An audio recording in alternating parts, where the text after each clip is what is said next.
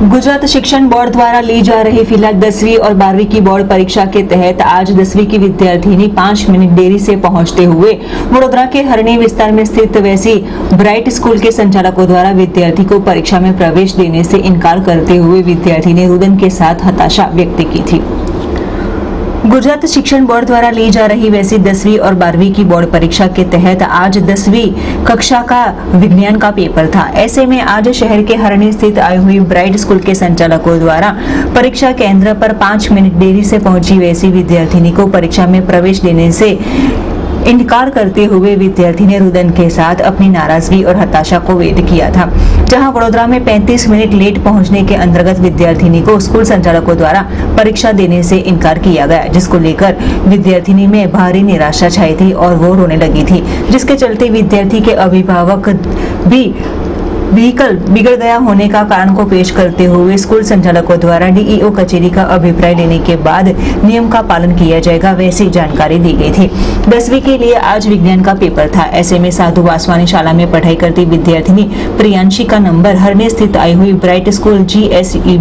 Unit पर पहुँचा था। विद्यार्थिनी परीक्षा केंद्र पर पहुँचने में 35 मिनट देरी से पहुँचते हुए उसे परीक्षा में प्रवेश नहीं दिया गया, जिसको लेकर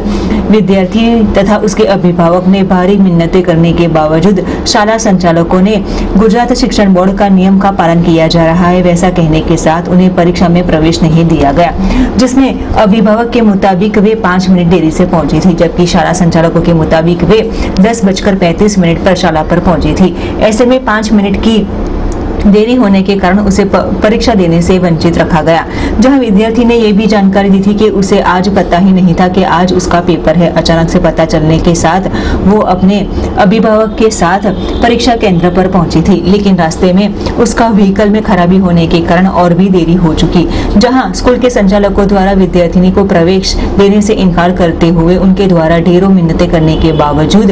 उन्हें परीक्षा में प्रवेश नहीं दिया गया। जो ये मामले को लेकर बाद पुलिस भी परीक्षा केंद्र पर दौड़ी चली आई थी, ऐसे में शाला संचालकों संचालकों द्वारा उन्हें नियम का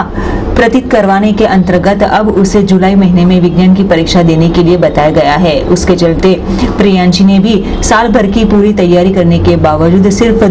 पाँच मिनट देरी से पहुँचने के कारण उसे अब जुलाई महीने में विज्ञान की परीक्षा देनी पड़ेगी उसकी उसने नाराज़गी व्यक्त की थी। बेटा कई परीक्षा लास्ट टाइम मत आज साइंस पेपर શું કારણે તને અંદર? હું દસ પંદર મિનિટ લેટ થઈ ગઈ હતી થોડો down કરો. પકડી દીધું એટલા માટે મને અંદર શું કહેવા માંગીશ કે આટલી મહેનત કરી છે? ખાલી બે કલાક મળ્યા હતા તો એમાં પેપર કમ્પ્લીટ કરી દઈશ ખાલી મને પેપર આપવા દે શું નામ તારું સોની પ્રિયાંશ